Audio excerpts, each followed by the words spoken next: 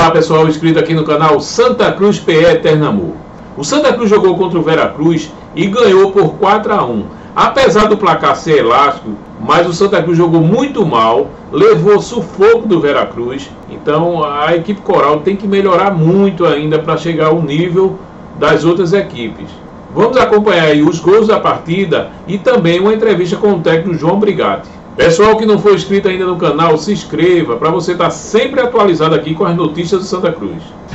O primeiro gol aconteceu no escanteio. William Alves pulou mais alto que os zagueiros e fez 1 a 0 para o Santa Cruz.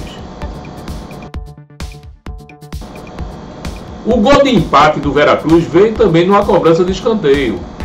Pulou mais do que o zagueiro e fez 1 a 1 Santa Cruz e Veracruz. O Santa Cruz marcou no segundo tempo o segundo gol, novamente com William Alves de cabeça, fazendo Santa Cruz 2 a 1.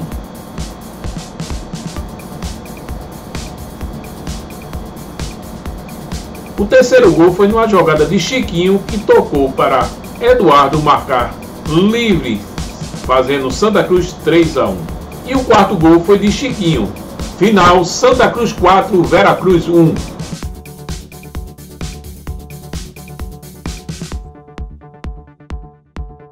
Esses foram os gols da partida. Agora vamos ouvir uma entrevista com o técnico João Brigatti. Vamos lá, entrevista coletiva do técnico João Brigatti após a vitória sobre o Vera Cruz pelo Campeonato Pernambucano. O Leonardo Borges da Transamérica pergunta: o rendimento da equipe não foi bom pela falta de tempo de treinamento, Brigatti? Parabéns pela vitória. Boa noite, boa noite a todos, obrigado. Na verdade, eu ficar falando aqui toda hora em questão de, de tempo de treinamento é chovendo molhado. Vocês já sabem, já passei isso desde o início. Nós não tivemos uma pré-temporada, nós não temos tempo para treinar ao longo da semana. Então isso reflete dentro de uma partida. Deixamos, optamos por deixar os atletas aqui é, que a gente considera hoje que são os titulares da equipe, para que pudesse ao longo da semana recuperação, fazer uma recuperação em cima da parte física, em cima da parte técnica. Só que você, com esse tempo, jogos em cima de jogos, Amanhã nós precisamos recuperar os atletas.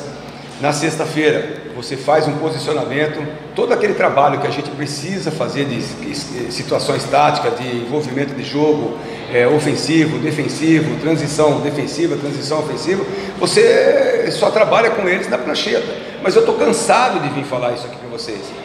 Isso se reflete dentro do campo. Não adianta eu chegar para vocês aqui e falar que o rendimento vai ser ótimo a partir de sábado, que o rendimento vai ser ótimo a partir de terça-feira.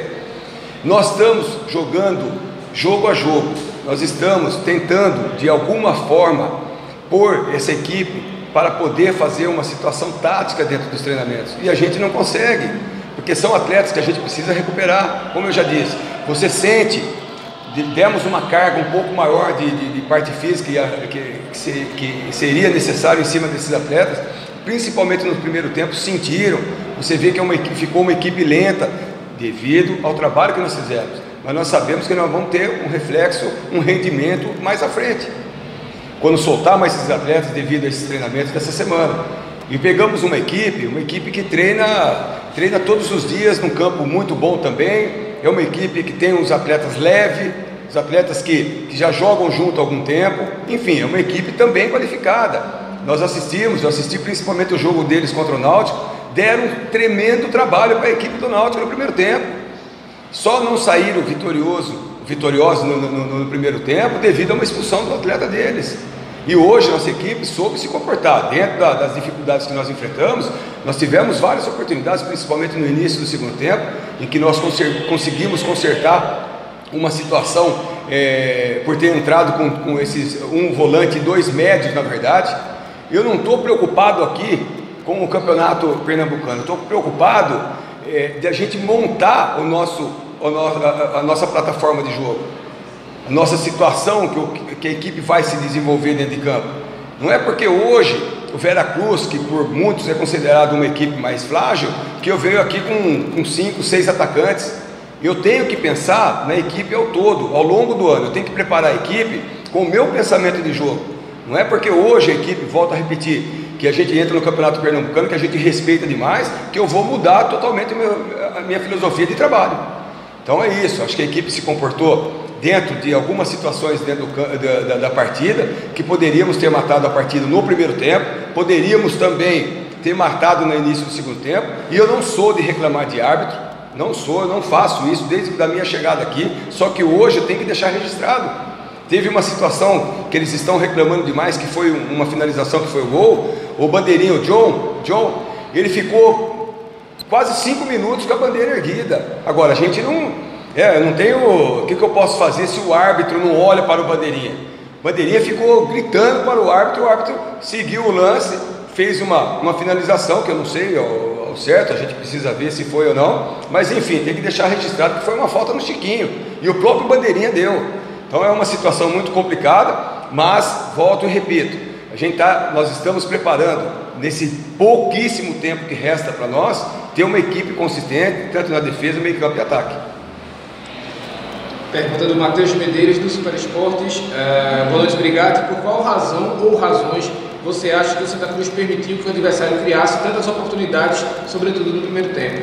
É o que eu digo, você tem que propor o jogo. Eu, uma, eu, nós pegamos uma equipe é, reativa, uma equipe que se defendeu bastante e aos poucos eles foram saindo. Conseguimos fazer um gol né, com o Ilha de cabeça.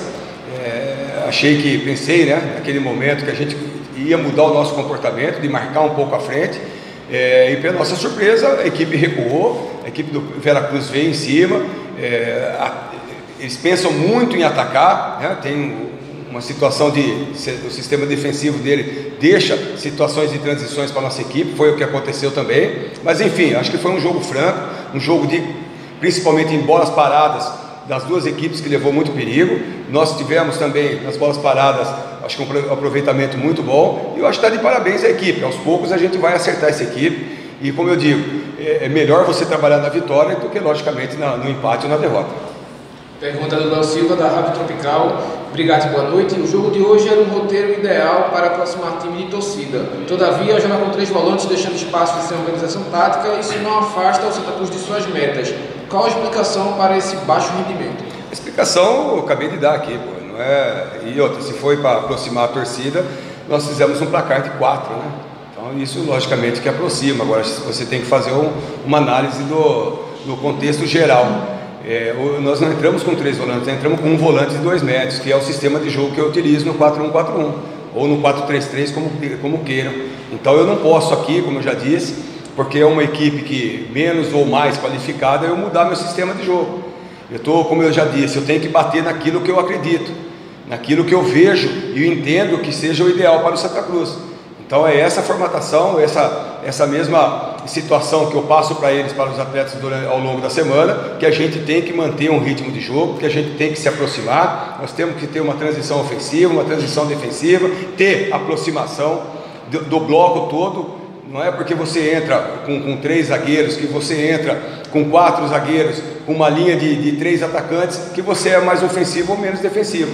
Hoje o que muda dentro do futebol e que a gente tem que entender e muitos não entendem é que você, o comportamento da equipe no bloco todo, quando você está atacando, entra com todos os atletas dentro do campo adversário. E a mesma situação quando você faz a transição defensiva, que o centroavante, o, o, os dois extremos, ajuda a marcar também. Para isso fortalecer o sistema defensivo e o, e o sistema ofensivo da equipe. Pergunta do Fábio Mendes, Teletribuna. Obrigado. Na sua opinião, o placar refletiu o que foi a partida? Como você avalia o rendimento do time hoje e a evolução jogo a jogo? Olha, eu não posso. Eh, fica, fica complicado eu falar em, em evolução se, se, a gente, como eu disse, a gente não tem é, praticamente na prancheta que a gente forma essa, essa, essa equipe, que a gente vai para jogo. Mas eu vejo uma equipe comprometida, vejo uma equipe que, dos nossos atletas que se doam o máximo dentro da partida. Lógico, faltam várias situações para a gente acertar essa equipe, mas pelo entendimento que eu tenho e pela aceitação dos atletas, a gente vai aos poucos acertando essa equipe, sim, com certeza. Precisamos de mais reforços, a, diretoria está de parabéns, porque todos os dias está indo atrás de, de, de traga reforços de, que possa fortalecer a nossa equipe, para a gente poder ter uma equipe, um elenco qualificado ao longo da, ao longo da temporada. E eu acredito sim, aos poucos a gente vai ter a evolução necessária para que a gente atinja o objetivo que a gente quer. Pergunta do Fernando Castro, Diário de Pernambuco. Boa noite, obrigado, parabéns pela vitória. quais motivos te fizeram optar pelas voltas de Augusto Potiguar e Sérgio Santos ao time titular? Nós já fizemos uma avaliação muito profunda, pagamos um preço muito caro por a gente ter essa avaliação em cima de atletas, principalmente os garotos da base que não são culpados. Muito importante citar aqui, eles não foram preparados. Quem esteve aqui, principalmente na base, não teve a capacidade de preparar esses atletas para que pudesse vestir a camisa do Santa Cruz. Isso a gente tem que deixar muito bem registrado. Então são situações que hoje, analisando, eu vejo a equipe que entrou a melhor qualificada. Tem atletas que foram contratados, contratados como o Pérez, como o Marcos Vinícius, que estão aprimorando a forma física, o próprio Derlei, que hoje entrou e sentiu também o tempo é, de inatividade. Enfim, a gente está, dentro do possível, é, montando uma estrutura de time dentro das partidas. E isso você paga um preço. Isso você vai ver uma equipe que muitas vezes desequilibra, tanto no poder ofensivo como no defensivo. Mas o que a gente tem que ter é convicção, e eu tenho demais. Tenho muita convicção que a gente vai fazer um time do Santa Cruz, um elenco do Santa Cruz, uma instituição muito forte ao longo da temporada. Pergunta do Igor Moura, Brigade, quais as principais qualidades que você já pode enumerar no seu time nesse início de trabalho? Te agrada o time já ter mecanismos claros de contra-atacar, por exemplo? Isso ajuda demais, isso ajuda demais, mas às vezes é, é uma saída. Eu gosto de ter um time que, que proponha jogo, que jogue no campo ofensivo, mas para isso você precisa ter o tempo necessário, você precisa ter a forma necessária, você precisa a forma física necessária, você precisa ter o plano de jogo em cima da, da, da plataforma de, de, de jogo, é, situações táticas de treinamentos, insistência. Você tem que ser repetitivo em cima desses treinamentos e isso não tem acontecendo. Como eu disse, o pouco tempo que a gente tem, tem, tem para treinar, é, não dá para fazer esse tipo de treinamentos. Mas eu não vou, não vou mais ficar aqui registrando já falei isso desde o início da minha chegada aqui, porque a gente tem que buscar soluções. E aos poucos a gente tem que buscar essas soluções com o entendimento e aceitação dos atletas. Pergunta do Lucas de Sena da TV Globo. Obrigado e gostaria que você falasse a importância de ter um jogador como o Chiquinho, principalmente em partidas como a de hoje, que o Santa Cruz não vinha tendo um bom desempenho. É, eu acho que o elenco todo é, é muito importante, se faz necessário dizer, é um elenco que, que está comprometido, um elenco que também está muito triste trabalhar em cima de derrotas. A gente não gosta de trabalhar nessa situação. O Chiquinho é um atleta que se destaca também por ser um, um líder dentro do, do, campo, fora dele também. É um atleta assim que, que a gente tem um, um relacionamento é, é, é exemplar com ele, juntamente com, com todo o elenco. Enfim, são atletas desse nível que a gente precisa dentro de Santa Cruz. E é em cima disso que a diretoria está buscando, tentando trabalhar, tentando buscar. O mercado está tá inflacionado, o mercado está difícil devido aos outros campeonatos em andamento. Mas enfim, temos que trazer atletas de qualidade do, do, do, e do nível do Chiquinho para que a gente possa ter um elenco sempre forte para a gente finalizar, pergunta do Alexandre Ricardo, do Globoesporte.com. Você pretende rodar o elenco no próximo jogo, no sábado, visando a decisão pela Copa do Brasil da terça-feira? Vamos fazer essa análise a partir de, a partir de amanhã. Precisamos é, respeitar a equipe do Botafogo da Paraíba, que também vem, é uma equipe muito difícil de ser batida. Enfim, um jogo que praticamente é, não vale em relação à classificação, enfim, mas vale porque você veste essa camisa e você tem que entrar no campo e respeitar demais. Então a gente vai ver uma melhor formação para que a gente possa, dentro do jogo da, do Botafogo da Paraíba, ter um comportamento muito bom e também preparar essa equipe para o grande jogo na terça-feira, que é o jogo da Copa do Brasil, que nos dá uma visibilidade e parte financeira também muito forte.